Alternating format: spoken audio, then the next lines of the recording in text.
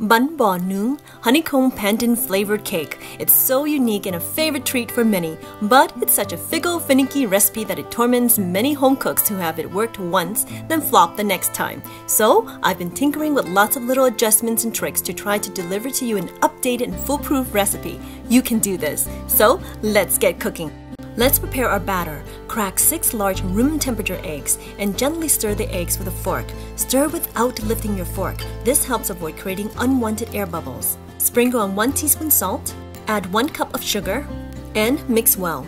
Add in 2 tablespoons coconut oil, quarter teaspoon pandan extract, and mix well. Here's the brand I'm using. Pour in 400 milliliter of coconut milk. Not to worry about the coconut oil solidifying, it will melt when it bakes. Pour it into a large pitcher, mix well to dissolve and combine all your ingredients. Set this aside until needed. In a large mixing bowl with 2 cups of tapioca flour, add in your 2 tablespoons rice flour and 1.5 teaspoon of double-acting baking powder.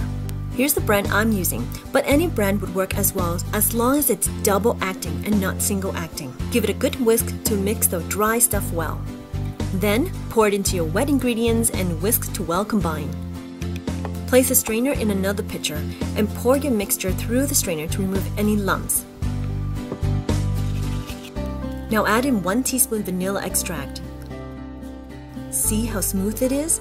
Beautiful.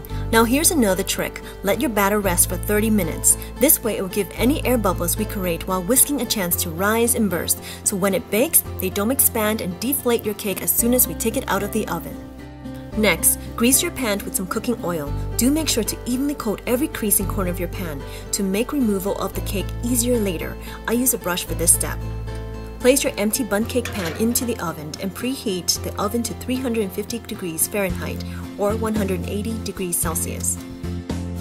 When it hits 350, pour the batter into the pan.